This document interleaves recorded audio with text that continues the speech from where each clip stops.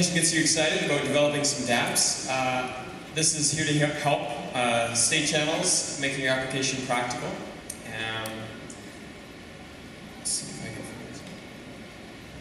uh, so simple problem. You're going to build your awesome dApp. Uh, this is the age of Ethereum. Your application has access to the world's most secure, decentralized, and trust-free mobile phone for 1999. How do you deliver an amazing user experience on top of that? Um, if any of you are building uh, large-scale dApps, you've already run into these limitations.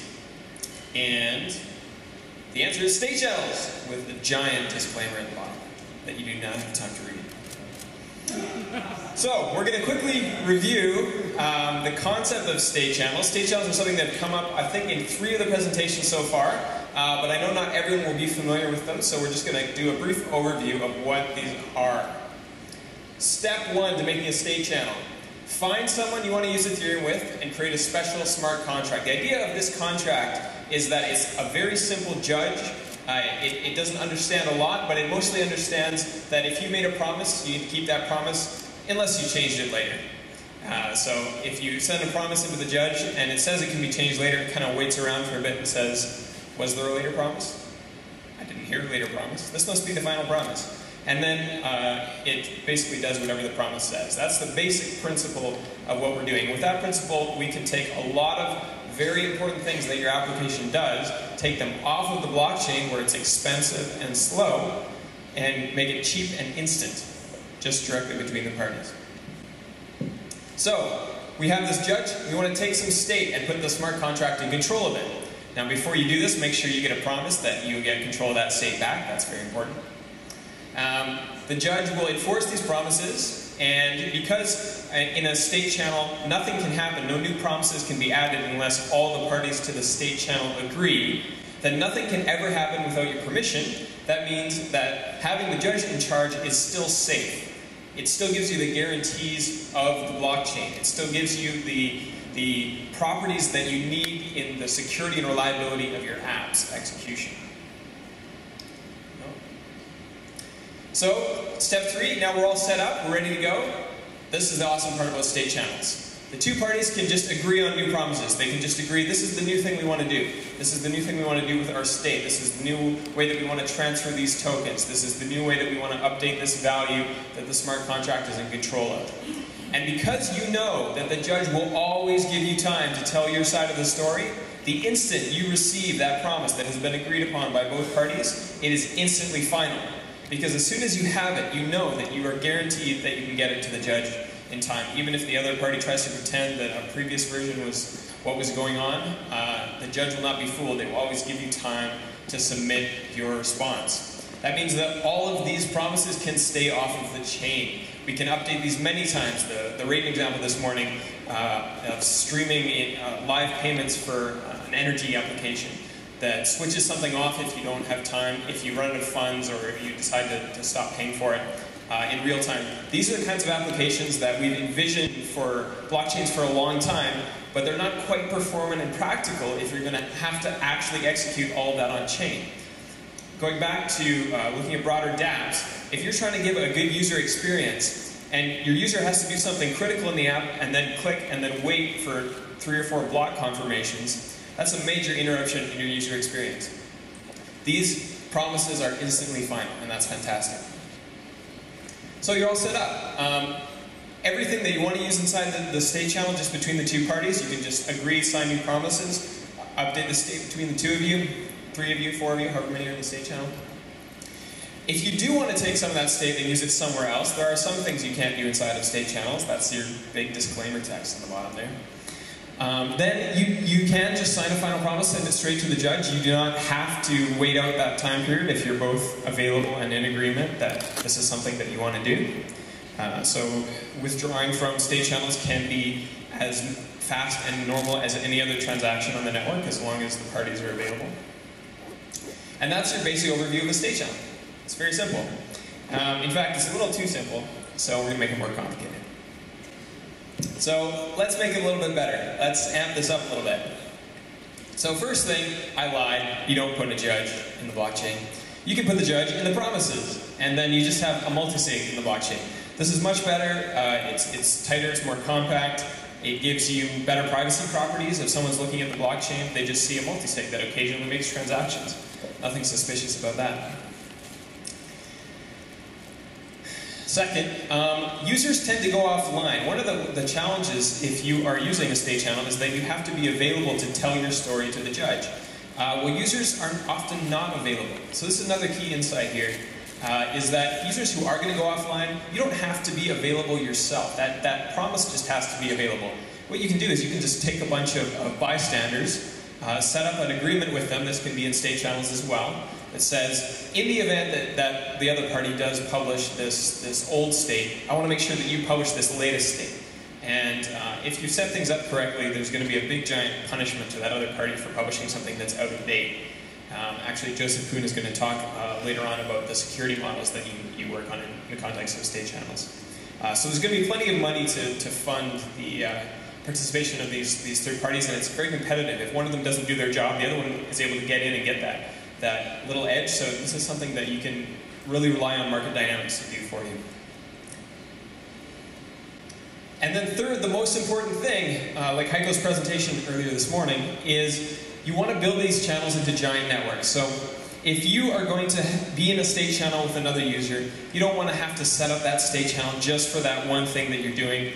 That, that is not taking full advantage of the power of state channels. Instead, you want to build these into giant networks so that if you have someone that you're not directly connected with, and you're not even one person away from, but you're two people away from, you can combine those three channels together. Uh, you can make agreements across the channels that are all conditional on each other in a nice, clean way. I think um, uh, Joseph Poon is going to show us a little bit of an example of that. And build these giant networks so that you don't have to have a dedicated channel for every person that you're going to interact with in your application. Uh, and this is exactly where Raiden comes in. This is, this is what this is all about. Another comment, um, most of the time in, in channels we think about these pairwise relationships between two parties, there are lots of contexts where you want to put more in. Um, in a, a, lot of these situations where you have many different links, it ties up a lot of resources. One of the challenges in uh, state channels is even though they're instant and they are trust-free, um, they do tie up a lot of resources if you are super safe with them, which you should be. Um, instead of, of having those resources spread across multiple channels, you can sometimes have a group of people who have a reason to be in the same state channel together and tie up your regular multisig with just a few extra keys. And that works perfectly well as well. So let's make this concrete. Let's talk about a specific app and how it would change if we're using state channels. I went out and I grabbed etherdice.io um, which turned out to be a bad example because I thought of it and then I went and checked and they're offline now, but that's fine. Uh, here's a rough overview of what etherdice.io does. This is a, a gambling um, contract uh, app that tries to be uh, provably fair for some definitions of provably fair. The idea is that the, the operator of the bet uh, generate some entropy, and they submit a hash of that, that entropy, that secret, into the smart contract. The users then submit bets um, that are going to be based on the random value that's going to be calculated later. Um, after a certain period of time, bets can no longer be submitted. They stop being submitted. Um, once those bets have confirmed deeply enough to be safe, and this depends on what size of bets you want to be able to support, then the entropy generator submits their secret, they reveal their secret, you combine that secret with the other existing entropy, um, and you calculate some random values and you select some winners and losers according to the pre-agreed odds. Now the users are able to claim their rewards. Typical design for, for a simple dApp, right? Here is the result of designing your dApp in this fashion. You have multiple on-chain transactions. There are plenty of transaction fees at each step there are minimum practical bets that you can make in this context because you have to cover the cost of those transaction fees. Uh, the users have no uh, experience of instant gratification. Um, anyone who is in the gambling industry knows that that is something that you are always striving for. Uh, the user experience for a gambling app like this is that you bet and then maybe you win, uh, which is not quite, quite the user experience that you're often going for.